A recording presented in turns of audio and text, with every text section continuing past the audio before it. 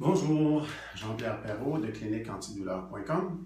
Aujourd'hui, je suis là pour vous présenter un outil bien particulier qui est un rouleau, ici qui, roule. On sert de ce rouleau-là pour une raison particulière. On sert de ce rouleau-là pour faire un massage, un automassage des tibias. Je vais me positionner différemment pour que vous puissiez bien voir. Donc, les muscles à l'extérieur du tibia ici sont souvent très tendus, très sollicités dans la marche euh, dans la course. Les sports vous, demandent beaucoup de course. Donc, ils deviennent très tendus et souvent très inflammés également. Ce qui bloque la circulation sanguine, on se sent les jambes lourdes, etc.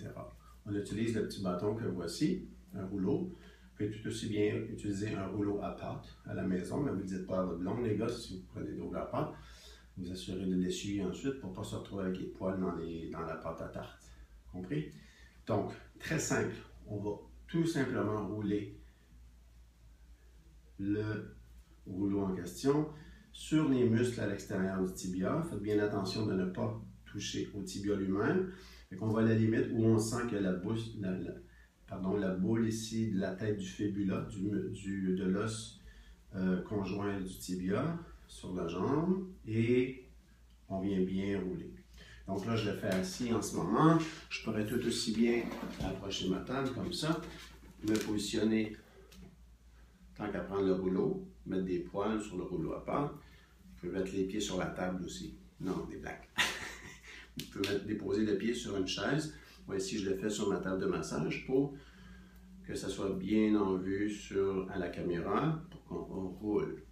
C'est un peu sensible lorsqu'on ne l'entretient pas souvent, ce muscle-là. Moi, je peux appliquer une bonne pression en ce moment. Pourquoi? Parce que je l'entretiens assez régulièrement par des automassages, mais aussi par l'utilisation de ce rouleau-là. On peut aussi faire, utiliser le même instrument sur le mollet. Donc, on va rouler partout sur le mollet le rouleau en question pour détendre. Par contre, on pourrait très bien utiliser les mains en prenant les pouces comme ça et en séparant les gastrocnémiens, les muscles jumeaux du mollet, ce qui est très, très, très, très appréciable. Ou compresser, faire une compression comme une pince comme ça. On met les doigts sur le tibia puis on vient compresser le mollet. Donc, l'entretien du bas de la jambe, ça se fait avec les mains, ça se fait avec un rouleau comme ça qui se vend dans les endroits de spécialisés de, de coureurs, de joggers bien précisément. C'est là où j'ai pris le mien. Vous pouvez trouver ça dans les magasins de sport spécialisés euh, ou les grandes surfaces. Mais faites attention, ça prend un, outil de qualité. Ceux qui ont trop de bosses dessus, de, spike, comme on dit en, québécois, ben, c'est un peu douloureux. Surtout si on est très sensible puis on a les muscles tendus, on est mieux d'en prendre un lisse qui est un peu coussiné comme celui-ci.